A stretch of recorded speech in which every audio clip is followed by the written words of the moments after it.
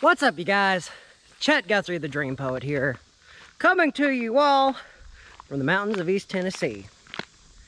Uh, to be more specific on where we are, we are not far from US 129, better known as the Dragon.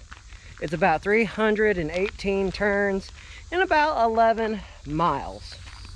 But if you all have kept up with my previous videos, we've already talked about that. But today, guys, we are here to talk about the ghost town known as Calderwood, Tennessee. Well, Calderwood, Tennessee was established in the early, early 1900s by the Alcoa Company.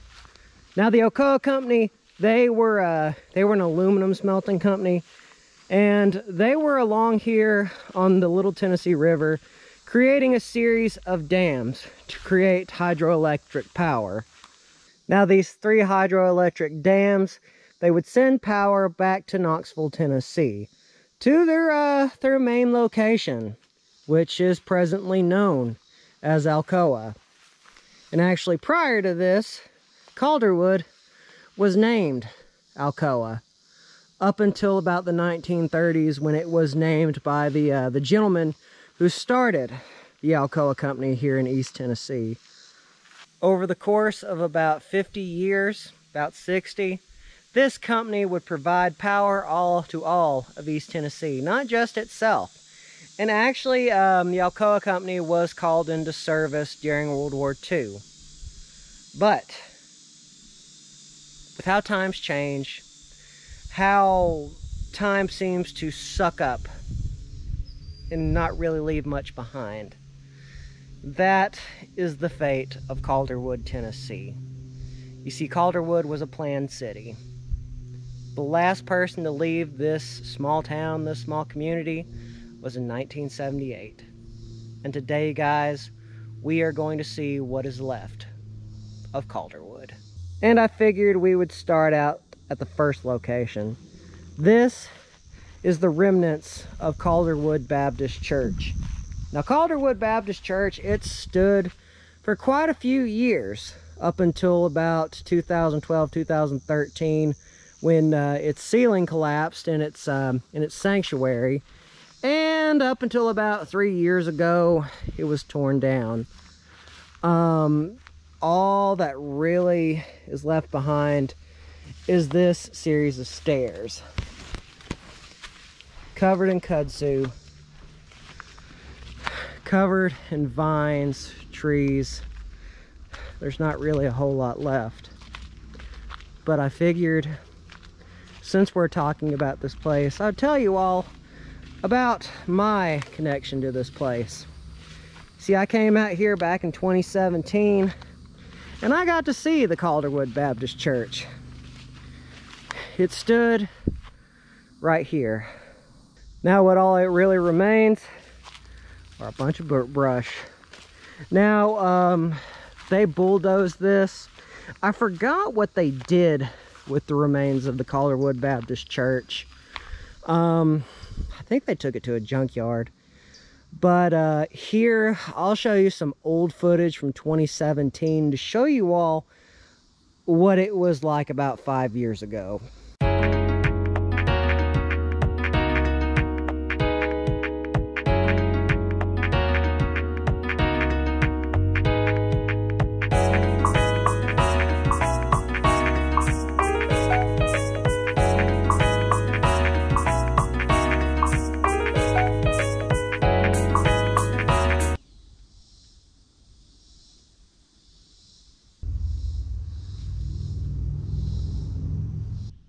Is something I want to note about Calderwood. And what that is, is that even though Calderwood is a ghost town at this point in its, uh, its uh, present uh, state, um, Tennessee Valley or Tennessee Valley Authority or TVA as it's better known um, they do use some of uh, the old town's uh, buildings like for example this is um, Calderwood Station what they call Brookfield this used to be um, this used to be the old Col or the old Calderwood uh, Elementary School. Now, as you all can tell now, um, pretty much the only use for it um, is office space. I believe that's pretty much what they uh, they use it for. Now, it's kind of obvious it's not a new building. It is from a bygone era. Even got the Tennessee flag right there. But uh, anyway, this is all what is left of the Calderwood Elementary School. And uh, you can even see if you look through it close enough, you can see the um, kind of like the lobby area where you could sign in. Now, as we go further back into Calderwood, you will see a lot of roadway that looks like a uh, driveway but seemingly leads into nothing. Um, that's because when uh, most uh, or when Calderwood was no longer inhabited, a lot of TVA went and bulldozed down a lot of these houses. Um, now, for example, I believe this is just a storage shed, but this all, no, that's from the 50s. So this is another remnant from Calderwood's past. And uh, kind of looks like their uh, TVA is just, or no, that is a, uh, that is an old horse and buggy. That is really cool.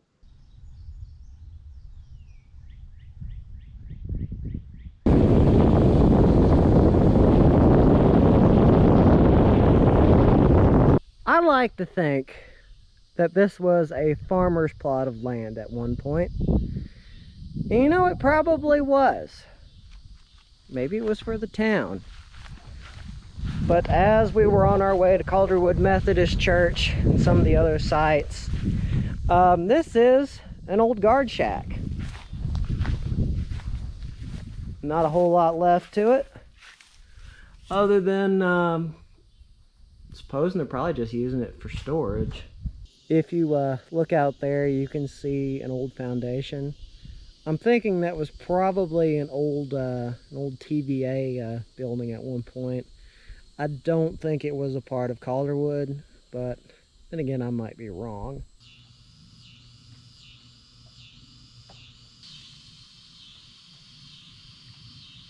Uh, this big building right here, which is now used by TVA as well. This is a, um, I believe this used to be the old, um, the old dance uh, hall for Calderwood. Um, also, it's where they had um, something similar to like community centers and whatnot. Uh, they would watch movies in this building. And uh, as I was saying, community center, this is the community center right here. I want to add this as well. Uh, while these buildings might be uh, used by TVA present day, they're also on the uh, National Registry of Historic Sites. So even though most of Calderwood has been torn down and is no longer really active as a city, um, these buildings will stand either till America ends or or well till the government starts funding this area. But still just love how even present day these buildings are still standing and they still kind of show a glimpse into what Calderwood was. The life of the miner or I should say the life of the engineer that was trying to make a living for himself here in the East Tennessee region at the turn of the century. I don't think we can see what's inside, but um, regardless, I don't think we really even need, need to do that to really enjoy this building. Well, this is interesting. While we were heading up to the houses, I found this.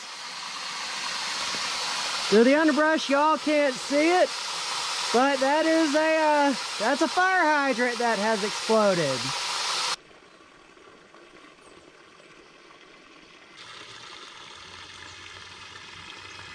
Now, if you come out here to Calderwood, um, this is something that I like to consider a, uh, a marvel.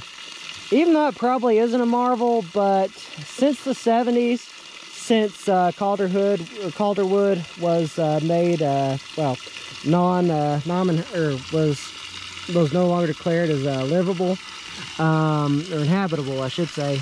This um, this old fire hydrant or busted back in the um, I think it was about the 70s or the 80s. You kind of see like the old um, the old ironwork in that, especially on the top of that as well. But this entire time, it has been pouring out like so. And really, I don't know where that water comes from because it's been doing it for the better part of about 60, 70 years now. And as we saw that, we are coming up into the old residential area of Calderwood. I think they tore down these buildings sometime in the 80s. I believe it was sometimes the 80s. Um, looks like we're not going to be able to go that way, but we could probably get this way under the tree. And that, my friends, my fans, my followers,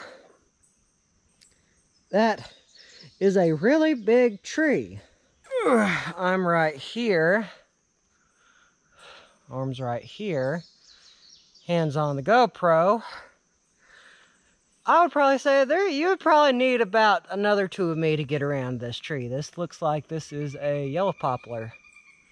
Eh, I'd probably say it's maybe about 100 years old. Now as we get back into the undergrowth, we will see some of the remains of the old, um, the old sidewalk that used to run up and down this entire town. But really, there's there's not even a even a whole lot of that left. And I think that these uh, these power lines, they've been around here since since Calderwood finally shut down. Um, huh. Looks like we came to another piece. Actually, I was a bit off. This is, uh, this was a part of the old sidewalk. Now, on top of the hill, there is a better example of this. But for the most part, why I came out here is because there is uh, there is one of these old houses that uh, that has been left behind. I had to get through the bushes, but we have found one of the old foundations. Now, when people lived and worked in this area, this is about the about the size house uh, that Alcoa or Calderwood, as you would say, would uh, would allot them. They weren't really meant for families. I guess you could put maybe if they were if you were a smaller family but at the end of the day this it wasn't really a whole lot and we have found some old uh, some old piping as we get further we've got some more old foundations um, on top of that we've got brick again more piping from the days of Calderwood when it was still a really, really hustling and bustling area. But that's really not the case anymore. And uh, awesome. We have more, uh, more old foundations. Just kind of laying in the rubble. When I was out here back in 2017, these were a lot more visible than they are now. Or at least on this side of what used to be Calderwood. I'm not sure. Oh, whoa, that could have ended badly. I'm not sure if it's just like all the debris with it being summertime or what. But uh, down here, this, hidden in the brush, is, a, is an old school uh, stairwell. Still not quite visible through the brush. So now uh, we're going to two other locations that are from the Calderwood era but uh, I figured I'd show you all the old road that used to go through here. It's amazing what 70 years of change will do. As I was saying, this is a better uh, representation of that sidewalk that I was trying to show you all. But uh, this sidewalk goes all throughout Calderwood. for the entire span that is Calderwood. This is the sidewalk. Now I like to think, no telling how many people walked along this sidewalk right here going to work every single day to work for the Alcoa company. I had trouble finding a good uh, good example of this while we were on our way up to Calderwood Methodist. But uh, I like to think that perhaps maybe even ghosts are still walking along this roadway right here. Now there is a good reason why Calderwood Methodist is in better shape than what used to be Calderwood Baptist. Look at that cool moss. The reason because that is, is there were more uh, Baptist or more Methodists to Baptist in this uh, this town. Looks like it's pretty well locked. Um, but uh, Calderwood Methodist was established in 1954. And this is probably, aside from the uh, the buildings uh, down on the main road, this is probably one of the best preserved uh, from the, the ghost towns. Now, I do not know if uh, any of the old family members that used to live in this area take care of uh, the, the uh, headstones. I'm pretty sure they do. I mean, I wouldn't, I, I wouldn't think that they wouldn't take, uh, take good care of it. But, uh, these are the graves from what was once Calderwood. Does look like they are pretty well taken care of. Now this is something I was not expecting to see out here, even though for me it's been about three years since, well five years I should say. This, uh, this above ground tomb was constructed in 1917. And you can even see the original tomb entrance from 1917. I mean, typically, you know, above ground crypts, you you usually only see them in places like Florida or Louisiana. Kind of curious to know why that it is down here. Now, I do have a little bit of time. If I'm not mistaken, it is possible to go inside the old Calderwood Methodist Church. Now, way back when, back when me and my old crew used to go uh, go places, there was even an old asbestos sign that had uh, that was put in there. But uh, I think for the most part, that's been cleaned out. Look at that old toilet. And I think that used to be the urinal. Now, they did have this a long time ago, but this used to be the old Sunday school area, and they had a, they did have a mural in one of these rooms. I don't think that they have it a, anymore, but uh, we are going to find out and see if they do. I think it was in uh, this one. Just check out that. Now you gotta know that's that's been around for quite a while. So since we are down here, look at that old, that old, uh, I guess that's on the way up to the, uh, the steeple. Real quick, there's the men's restroom, and that's not a whole lot left. And it looks like whoever was here before me kind of had a pretty decent setup. I don't think that could hold my weight any more than it could. But I think this is rat crap, rat poop. But I've been through worse. And here we have what is the remains of uh, of the sanctuary. I'm not sure if y'all heard that, but it's a little bad. But you guys, we, yes, my baddie friend, we're on our way out. If you hear him chirping, he's not that he's not that happy.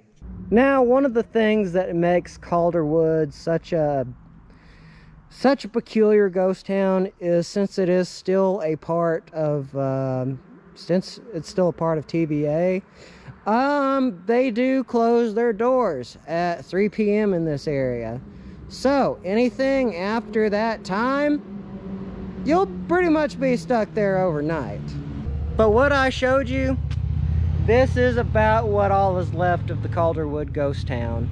Um, there is one building that I was not able to get a hold of or see um, from the video that I did five years ago coming here.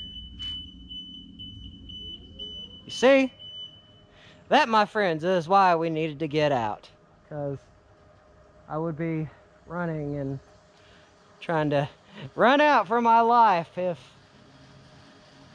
yeah probably right around that point I, I would not be able to get out. But anyway, guys, here is that footage.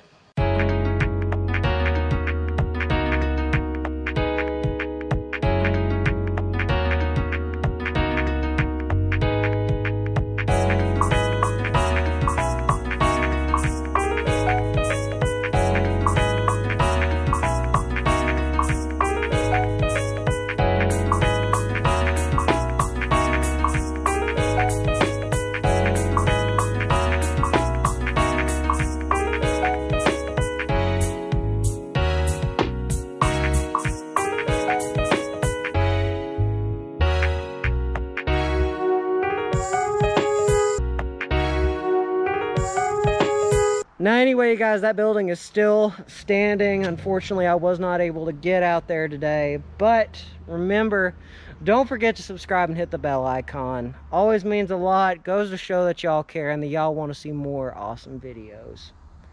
So without further ado, you guys, this is going to be another vlog.